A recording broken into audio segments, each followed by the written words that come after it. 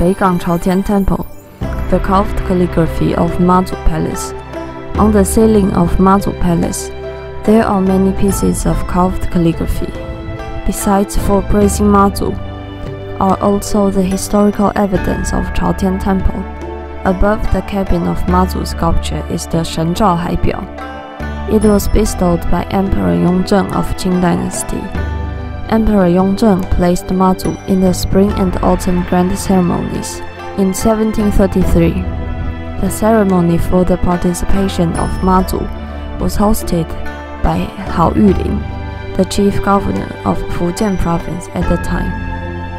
Because every county hosted the two grand ceremonies, the carved calligraphy was created and hung around the same period of history during the reign of Emperor Yongzheng.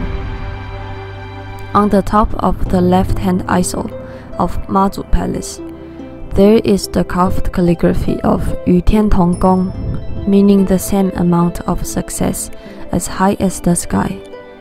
This carved calligraphy was bestowed in 1881 by Emperor Guangxu.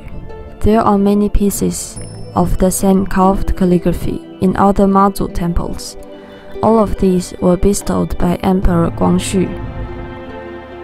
On top of the Mazu Palace is the carved calligraphy Ci Yun Sa Run, meaning Mazu's compassion of summoning rain for the people. In 1886, there was a widespread drought. County officials from Jiayi built an altar and prayed for the rain, but did not succeed. Consequently, he fasted for three days and pleaded Mazu by himself to host a praying ceremony. Soon as the ceremony ended, the rain came and the drought was resolved. The contemporary governor of Taiwan, Liu Mingchuan, informed Emperor Guangxu of the news. As a result, the carved calligraphy Ci Yun Sa Run was bestowed and hung. In May of year 1888, this very piece of carved calligraphy was hung in Chaotian Temple. And this incident was recorded in the book of the emperor. The article referred to Chaotian Temple as Bengang Goddess Temple, proving that the non-Bengang Goddess Temple is the modern Chaotian Temple. There is another piece of carved calligraphy on top of the Mazu Palace.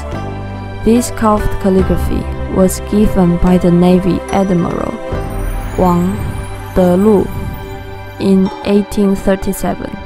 Admiral Wang successfully defeated the great pirate Cai Qian. Throughout the battles, Admiral Wang felt the guidance and protection of Mazu. As a consequence, Admiral Wang contributed the carved calligraphy, Hai Tian Ling Kuang, a Bolshong, and a Dharma drum. This carved calligraphy is still hung in Mazu Palace today.